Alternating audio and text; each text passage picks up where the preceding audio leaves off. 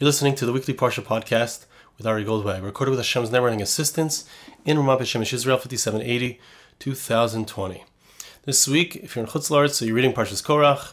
If you're in Eretz Yisrael, you'll be reading Parshas Chukas.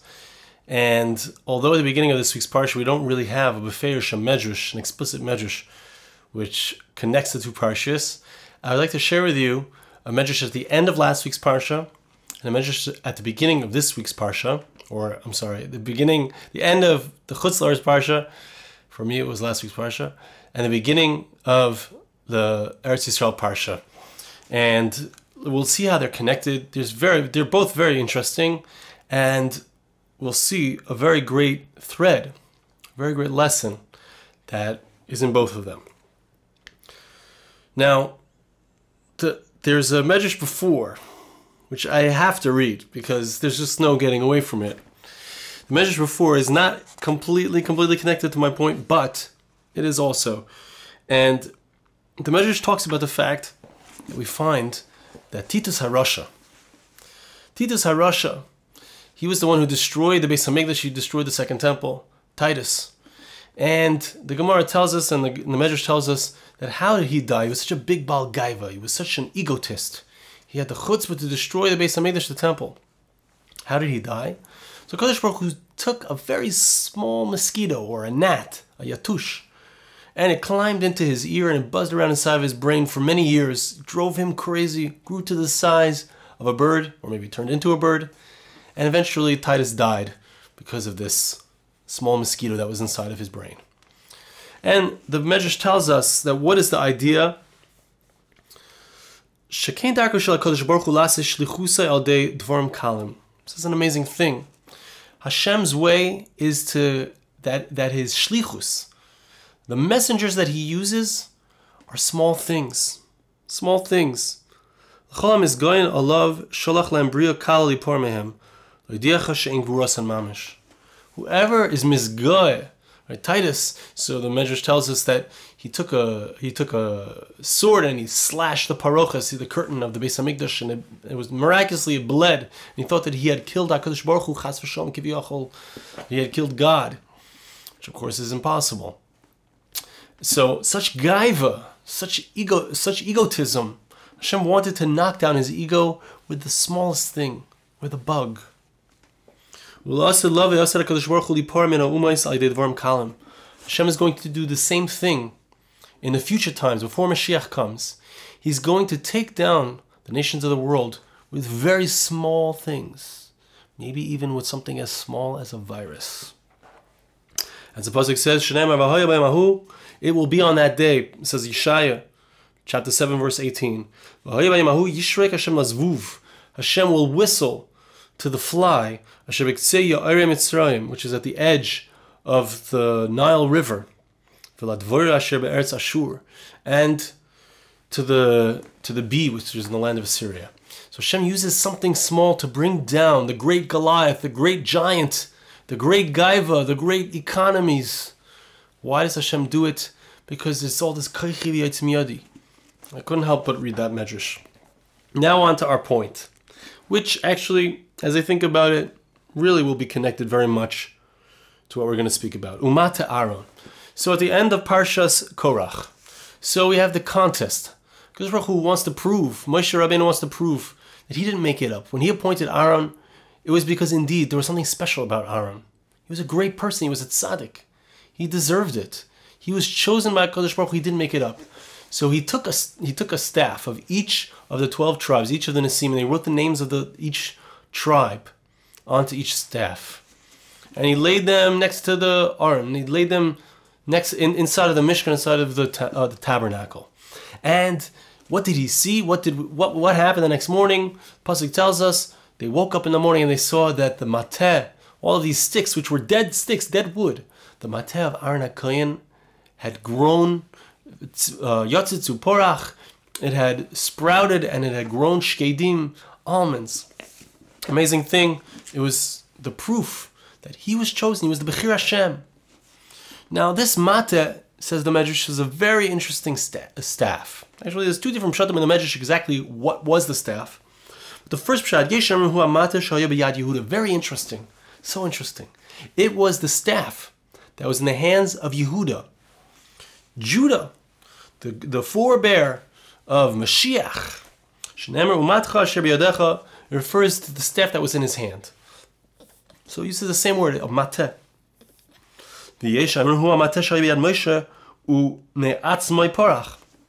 It was in the same. It was the same mateh. Those who say it was the same mateh that Moshe Rabbeinu held when he did all of the miracles in Egypt. It was the same exact staff.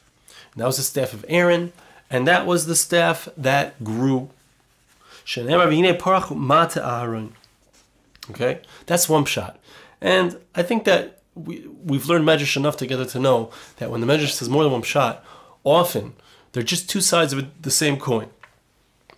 In, in this uh, in this particular Medrash, it's not so clear how, how they are two sides of the same coin, but but it's definitely uh, intertwined lessons.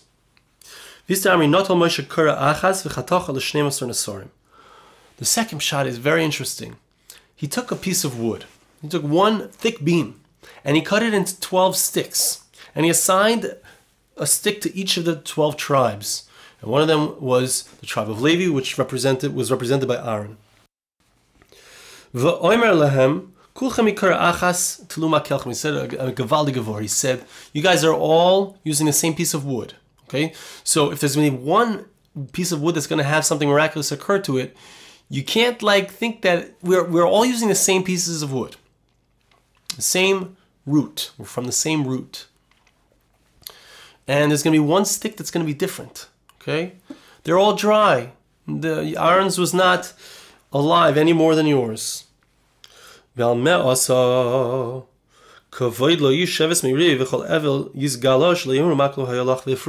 Says the reason that he did this, he wanted them all to see that they were all dry.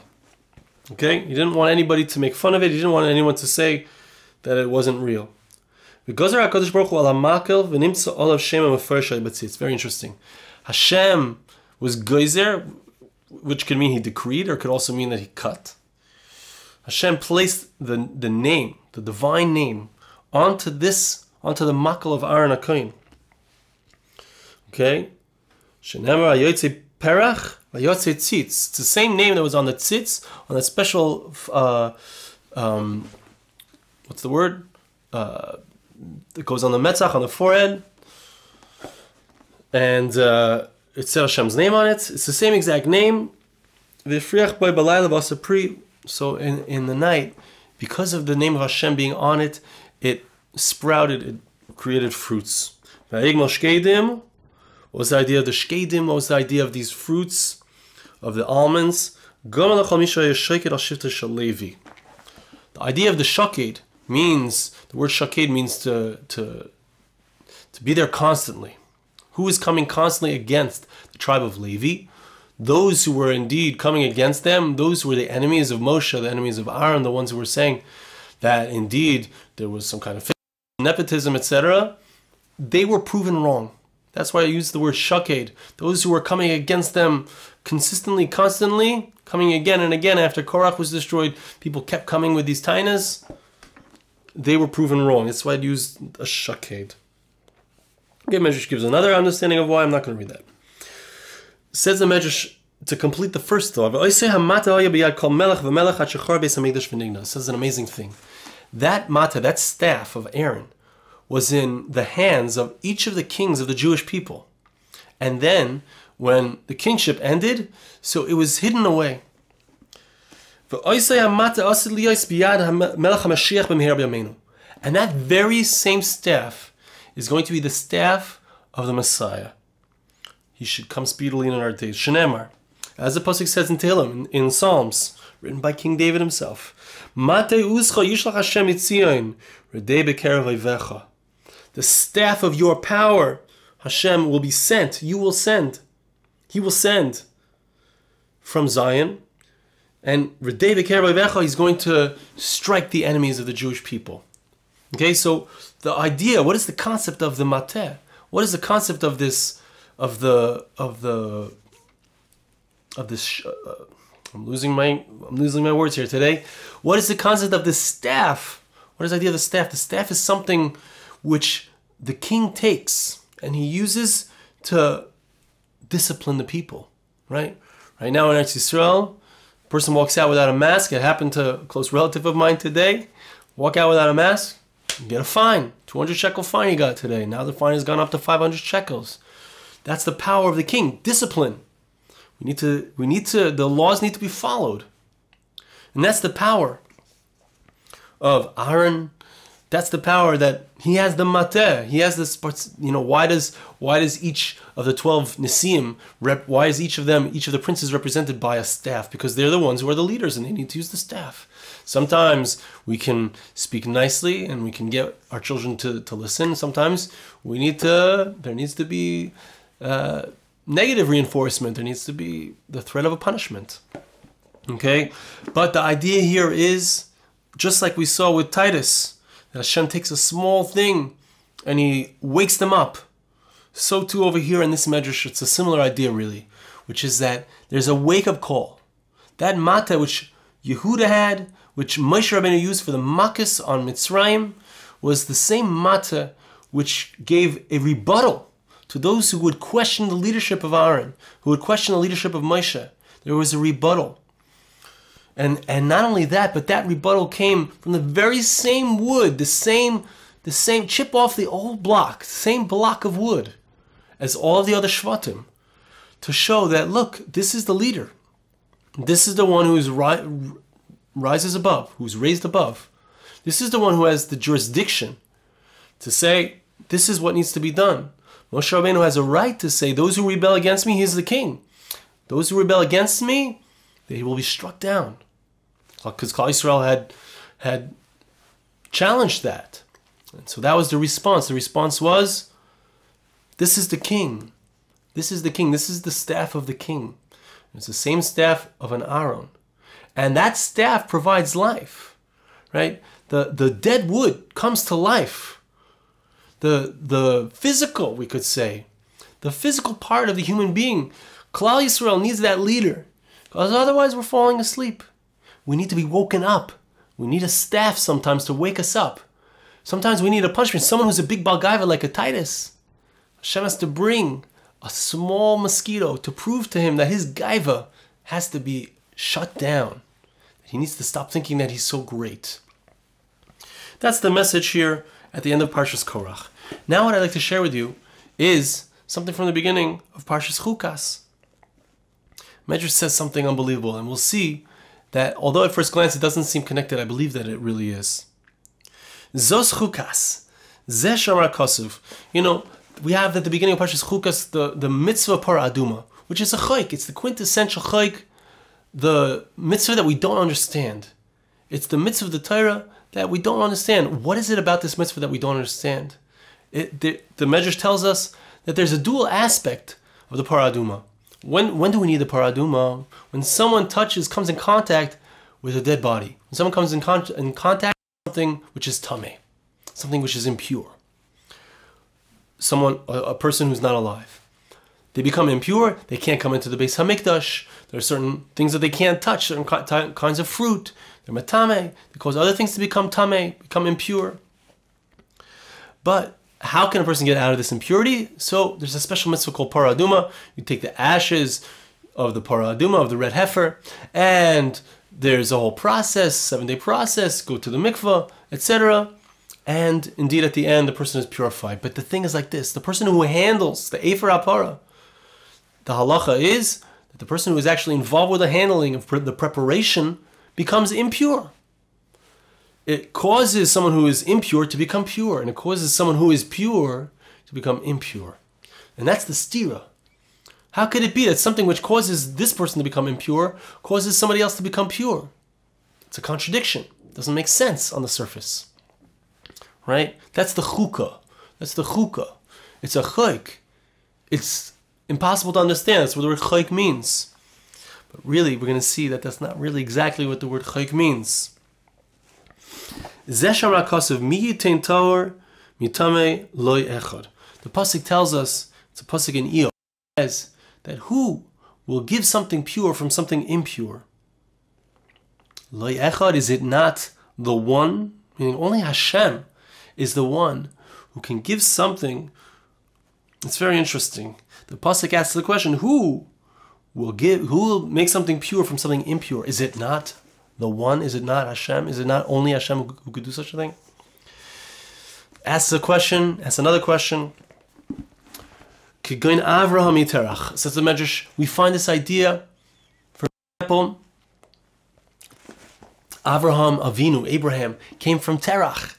Abraham came from someone who was a rasha, who was an idol worshiper, and he was the one who brought the idea of one God into the world, Avraham Avinu.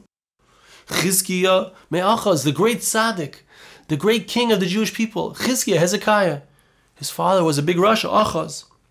Yoshia Me'aman, Yoshia, Hosea. I'm sorry, it's not Hosea, I don't know how to say it. In Josiah. Yoshia came from Amon. Yoshia was a tzaddik, his father was a rasha. Chiz, we said that Mordechai Mishimi, Mordechai came, he was a descendant of Shimi ben Gera, who was a rasha. Yisrael me'avdei kachavim, the Jewish people, Hashem took us out from Egypt. Hashem took us out from all of these lands of so many people, the non-Jewish world, which for the most part are idolaters. Hashem takes the righteous out from the place of darkness. Right? That's where we become a nation in Egypt. The world to come, we are only able to merit by being in this dark world, by being in the world of darkness. It says the Medrash Gevaldik darshaning the pasuk so beautiful. The pasuk says, "Mi tar mitamei loy echad." The Medrash says, "Mi asakain." Who did this? Mi tzivakain. Who commanded this? Mi gozarkain. Who decreed this? Lo yichida Is it not Hashem? Is it not God? The Medrash goes through a number of different locations, a number of different places, where we see that indeed things are the opposite of what they would seem. It doesn't make sense. An Avram Avinu is going to come from a terach. Think about it. Uh, Rivka Imenu came from a Besuel, a rasha. Rachel and Leah came from a Lavan. What a great, wicked person. And to, to, to think that they had children who were so righteous doesn't make sense. What's the word? Miyasakin, who did this? Who thought of such an idea? Mi Gozarkain. Lo Yechida Shalom, is it not the is it not HaKadosh Baruch Hu, the Yechida Shalom, the one, the one, Lo Echad? And he brings down at the very end, he brings down this, this whole contrast between the fact that the Paraduma, on one hand, has the ability to cause someone to become impure, on the other hand, has the ability to cause someone to become pure. Does both things. Who who who would do? How could it be something that causes someone to become impure causes someone else to become pure? How can purity come out of impurity? Omar Hakadosh Baruch Hu ends off the Medrash. Hashem says, "Chuka chakakti." I created this statute. Gzera gazarti. I made this decree. Etarasha lavor al gzerasi. You're not allowed to transgress on my decree. Now, what's interesting here is like this. I was describing this to my son. We were discussing this. You know, you have a a stone, a large stone, and a person who's a sculptor comes and they and they sculpt a beautiful sculpture. They they knock out the, outs, the, the outside of the stone with their, they chip it away, chip it away, and wow, it's a beautiful sculpture underneath. And you ask the sculptor, how did you how did you do that? And the sculptor says, you know, it was there inside. I just had to take away the dross. I just had to take away the bad stuff. And we saw the sculpture underneath. And you know, when we have a question, Miyasake, and who whose idea? How did who did this? Who works this way? Who brings a tzaddik out of out of a rasha? Because who does. The questions, when we ask the question, that's how we learn Gemara, that's how we learn Torah. When we ask the questions, it's the it's the contrast. The contrast between the darkness and the light is when we see the light so clearly. That's that's the word of the of the para aduma is you see death and you see darkness and it puts a person in a place of tuma of impurity and it puts a person in a place of questions. How could it be? How could Kodesh Baruch Hu allow 120,000 plus people to, to pass away from this sickness? What a terrible thing. What a terrible, terrible thing. We don't understand. Miyasakin. Somebody asked me at the beginning of, of the coronavirus you know, what's the right approach? And this is something I heard from my Rosh HaYeshiva. He said about the Holocaust. It's so important to teach children, not, not cover up the facts. Just say, we don't understand. We don't know why Hashem does these things. We don't know. We do know that Hashem is good. We do know that ultimately Hashem has a plan and that everything that He does is really for the good. We don't know though. Mi asakain, who does this? Mi mi gazarkain, mi who is the one who made this gzera? Why is there death? Why are we sad? Why is there tumah? Why is there impurity? We don't. Why? Why? We need to ask why, and we need to know is Yechida Shalaylam. Even there, we need to say, is it not the Yechida Shalaylam? Is it not the the unified one, the one who everything is good and somehow even good and evil? Within Hakadosh Baruch Hu, all is good. That's the that's the chakika. You you take away the darkness, and underneath is the goodness. Underneath is the light. Mitain Torah mitame. Who shall give pure from impure? That's that's the lesson here. It's a powerful thing. It's a powerful statement. We don't understand why, but somehow darkness produces light. Somehow tzaddikim come from Rishaim. Somehow dark situations produce light, produce geula, produce a new stage, a new place, a new way of being.